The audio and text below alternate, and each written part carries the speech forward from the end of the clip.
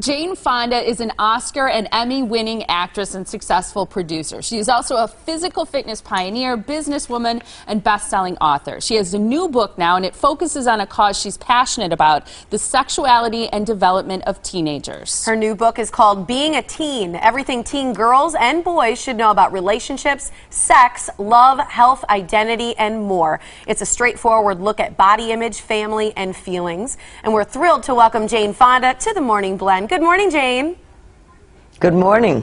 Thanks thank you for having me. Yes, thank you for being here with us. You know, we're very excited to talk to you about this book. We think it's great that it's so candid. We definitely want to get into some of that. You know, to start, why did you decide to write this book and include boys and girls in the in the book? Takes two, right? Mm-hmm. Um, I've been working. I've been working with adolescents for almost 30 years. First, I ran a children's camp in California for 15 years, and then I, I married Ted Turner and moved to Georgia, and uh, founded the Georgia Campaign for Adolescent Pregnancy Prevention. Um, which is now Adolescent Power and Potential, and I started the Jane Fonda Center for Adolescent Reproductive Health at Emory School of Medicine and so forth. So I've, I've had a lot of experience talking directly with boys and girls. Uh, adolescence is very different for girls than it is for boys, and so it's important to talk about both. And um, I've been very gratified that parents who, who have read the book now are saying, wow, I, I learned a lot, and this is going to really help me deal with my kids as they go through adolescence. It's a, it's a very challenging and a unique, unique stage in human development, separating childhood from adulthood. It's the gateway to adulthood when a lot of changes are going on in an adolescent's life, not just body, but also values. They're beginning to think abstractly, not just concretely. They're beginning to figure out who they are, different from their parents, develop their own values. So I try to address all those different things. And I worked with a lot of experts. It took me three years to get the book together, and many dozens of teenagers read the book and gave me feedback as well.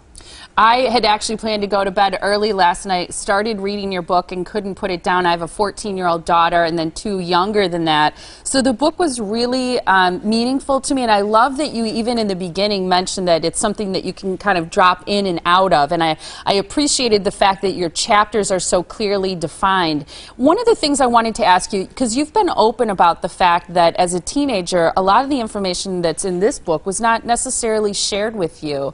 Um, there were a lot of things you didn't know know as a teenager, as you were going through all of these changes, how would you characterize your teenage years, and did you feel kind of lonely um, going through a lot of, of, of those changes?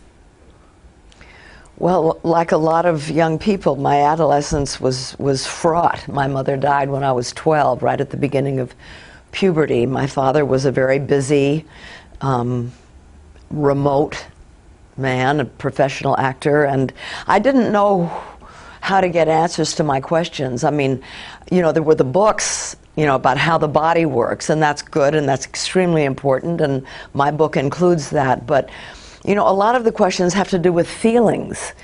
How do I know if the relationship I'm in is a healthy one? How do I know what a not healthy relationship is like? How do I how do I tell the person I'm with, the boy I'm with, I don't want to do that, you know, without becoming unpopular. Um, what do I do about acne? You know, just there's just so many different kinds of questions that the kids need to know about, and parents need help with too. So parents should read the book as well. And I'm glad to hear what you said. I'm glad you found it useful. Definitely. Mm-hmm. Yeah, and when you start to define healthy relationships, what are a couple key characteristics that teens and even adults, adolescents should look for? Well, first of all, if, if you're with somebody that you th- is your boyfriend or girlfriend, there has to be trust. There has to be the feeling that you can communicate openly with them in a, and they're not somebody who, if you break up, are going to go and tell what you know your intimate details to other people. You have to be able to trust the person. You have to be able to talk to them about sex. For example you know if you're old enough to be starting to think about these things, you have to be able to say, well, you know, have you ever had sex with somebody else? And if so, you know, you have to be tested. Do you have sexually transmitted diseases? Because there's diseases now that can affect you for your whole life. Chlamydia, for example, it could make a girl infertile, not to mention HIV, AIDS, and so forth. So if you can't talk about sex, you shouldn't be having sex with the person. Um, and anybody that's trying to pressure you into doing something that you don't want to do, that, that's not a healthy relationship.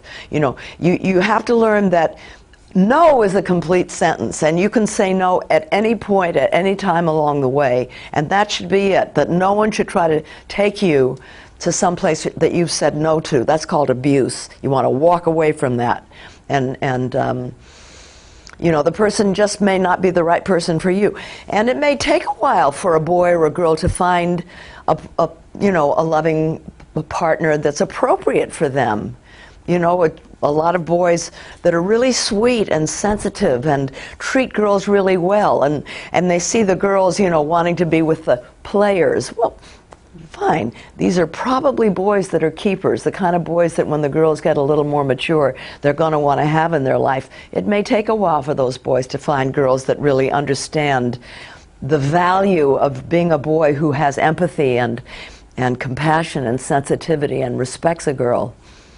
I love that. That was What- beautiful. Yeah, I thought that was beautiful what you just said, along with the fact that no is a complete Mm-hmm. sentence. I'm going to remember that and tell all of my kids that. One of the things that I also like about the book is how clearly you explain things like getting your period, what is masturbation. I mean, topics that maybe they're hearing about at school, depending on their, their health and human growth, development kind of things. Some schools don't cover those things at all. But I also feel like when you're explaining something, that you're not judgmental mm-hmm. about it. Even like masturbation, you explain what it is, that it, it's healthy, you're not going to, horrible things aren't going to happen to you, but that maybe you have a family that's sensitive to it for religious reasons or, or whatever else. I just feel like your approach is so fair and, and non judgmental. Yes, you know, I I was very surprised when I gave the book in, when it was in manuscript form to, to teenagers, how many of them really loved the fact that I was sensitive to family values and how different families have different um, standards and different values and different religions and you, you know kids have to be sensitive to that and and many of the teens liked the fact that I did that and um, you know, it's. I know it's not easy for parents to talk to kids about this. It was not easy for me. I wish I had had this book. It would have helped me a lot dealing with my own kids who are now in their 40s. But um, it, it's helping me with my grandkids. Let me put it that way. Yeah, when my kids ask me a difficult question, I say, "Ask your grandma."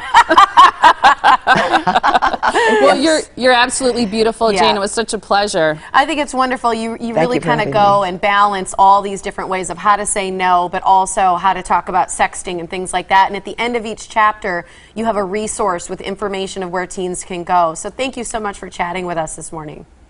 Thank you for having me. It's a pleasure. Absolutely. And again, the book is called Being a Teen Everything Teen Girls and Boys Should Know About Relationships, Sex, Love, Health, Identity, and More. And we both highly recommend it. A great book. And we appreciate Jane Fonda joining us this morning on the Morning Blend. Wasn't that great? It was a, certainly a mature discussion. Yes, candid, mature. I think Yeah. she's kind of. It's that book that you can sort of hand off and say, "Here you go, little I- birds and I bees." think she's. I, I love that she's still active in her later years. Mm-hmm. Still has an important message for people. Absolutely, it was a great conversation. All right.